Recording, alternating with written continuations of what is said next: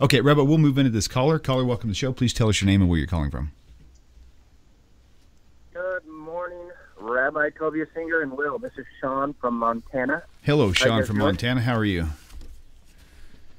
I'm wonderful. So, I'm gonna. I have two questions. I'm making quick and easy. Um, I know Tovia is not huge on um, translations and versions, as I've listened many times about that. But based on a prior um, recommendation, he recommended Art Scroll and ordering the Tanakh from them because I do not know and I have not learned Hebrew yet. Um, is there a English or a recommended place to get the Talmud, the oral, the oral Torah, um, in a English written version? Is basically my question, and the recommendation there. And two, as I've been reading and studying, I just came across something this morning uh, in the book of Daniel, where in chapter three. Hang on a second, buddy. Sorry about my son That's okay. um, where it talks about, let's see here, Nebuchadnezzar throws um, the three gentlemen into the fire, and he pops up and says in verse 25, he said, Look, I see four men walking about in the midst of the fire without harm, and the appearance of the fourth is like the Son of God. Now, this is NASB, this is my Christian Bible I'm looking at Okay. in my Tanakh, it says, um, let's see here. So He basically, and said, "Behold, I see four." so basically, you want to know who the fourth man in the fire was. Well, yeah, in the, in the Tanakh, in, in my Art Scroll version, it says like an angel. Right.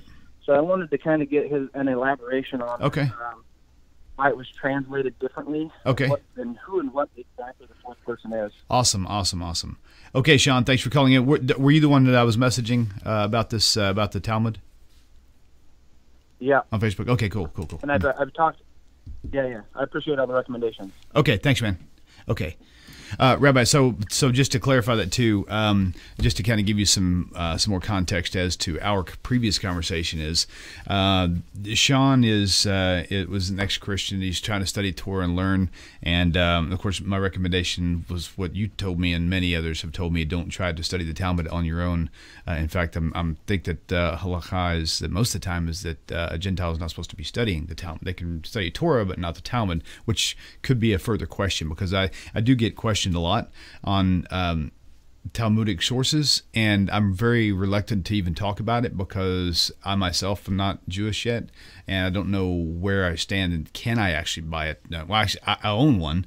Uh, I don't study it much unless I actually have an Orthodox friend helping me along to, to tell me exactly what I'm studying and what it really means. So, uh, as much information on that that you could give out, please do if you don't mind. It says Bar Elohim. which- This is Aramaic. The word there is bar instead of ben.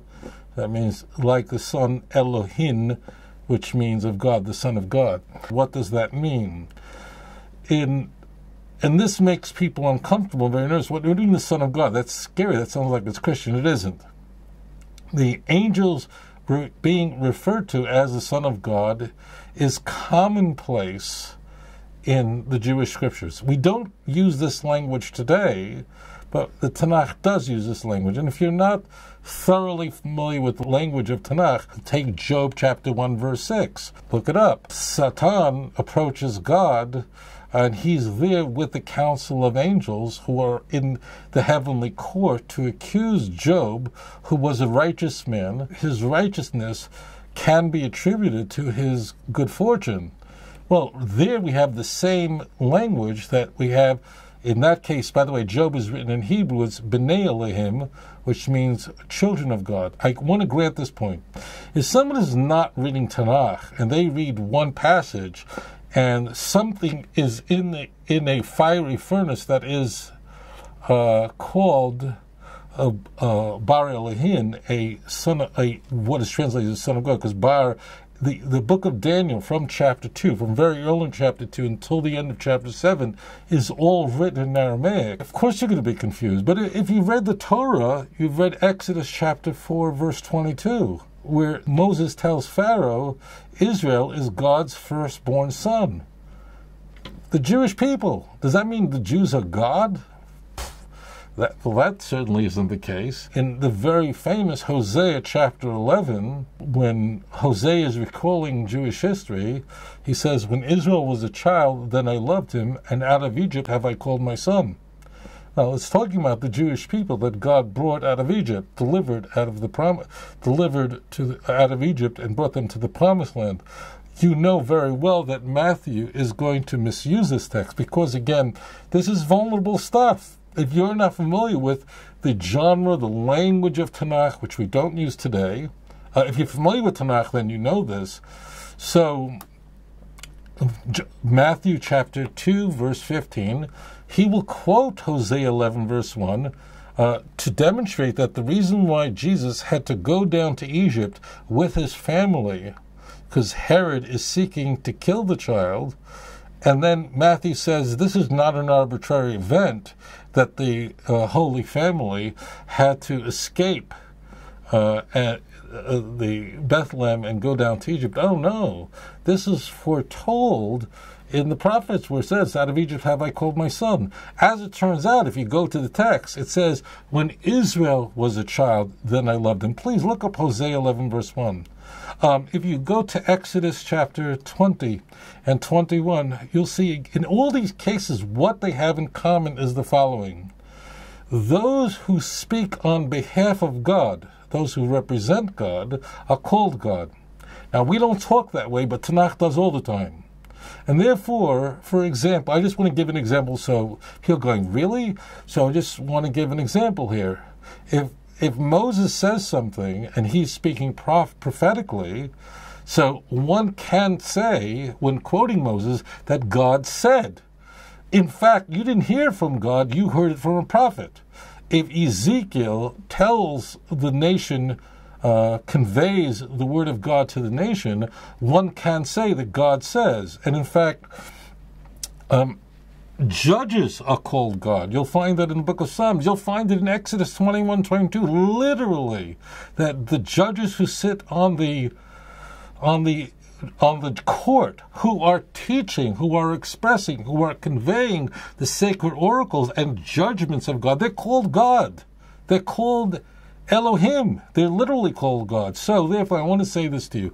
The first part is that if you're not acquainted with Tanakh, you're in a lot of trouble. What am I, you know?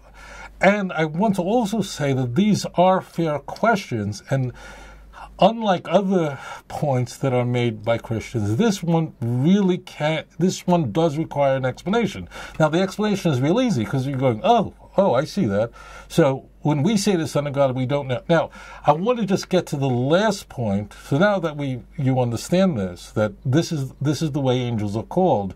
We see this all over Scripture, and the Christian Bibles will translate these as angels frequently.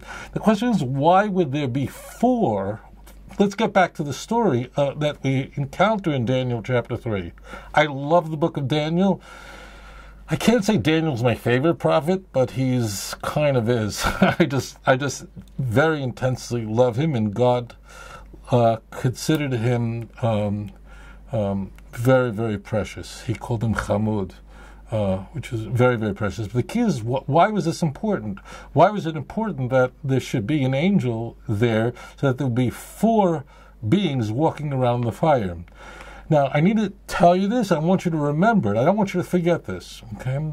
When Tanakh uses the number four, I want you to always think about the four kingdoms that would subjugate the Jewish people, whom God promises that will be they will be defeated, and the Jewish people will survive, even though they're sitting in the midst of a fire. Whether it's a bush that is sitting in the midst of a fire that Moses encounters in chapter 3 of Exodus, and the bush won't be consumed. That's Israel. Uh, the Jewish people will will endure, and we see this in the very statue that uh, that Daniel wouldn't bow to. It's in four parts: gold, silver, um, um, uh, uh uh, brass and then clay and iron. The feet are made out of clay and iron. So you have the four parts of the statue. Why four?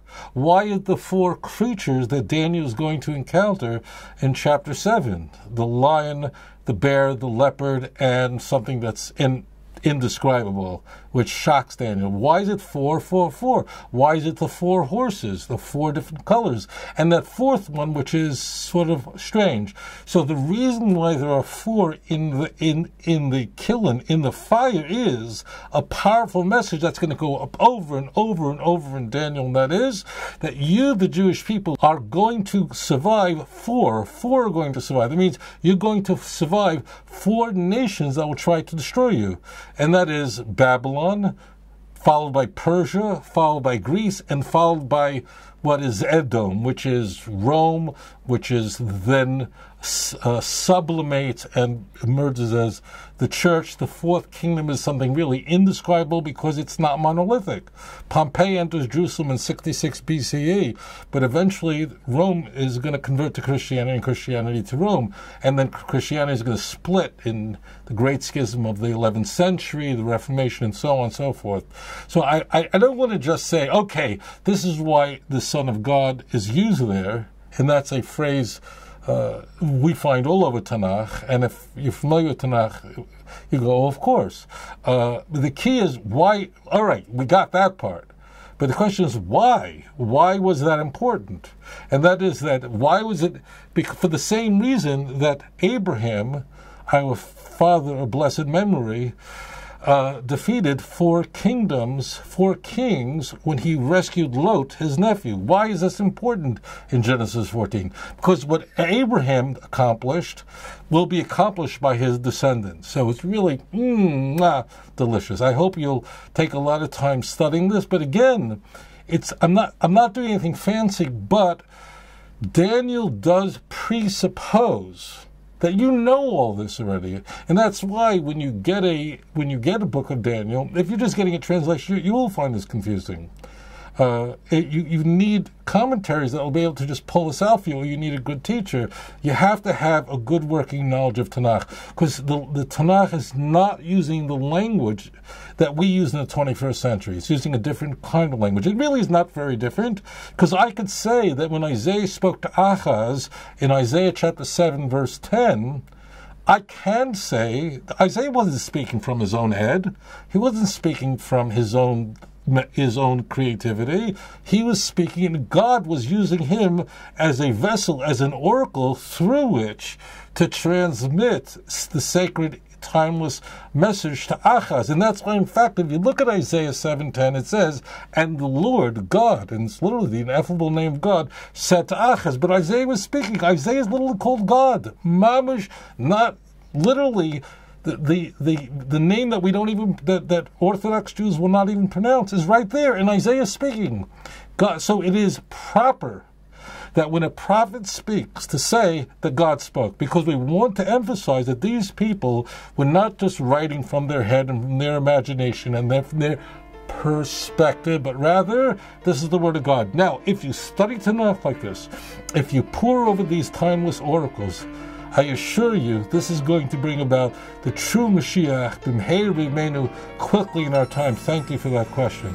אדון עולם אשר מלך בטרם כל יציר נברא ועת נעשה בחפצו כל אזי מלך, אזי מלך שמו נקרא ואחרי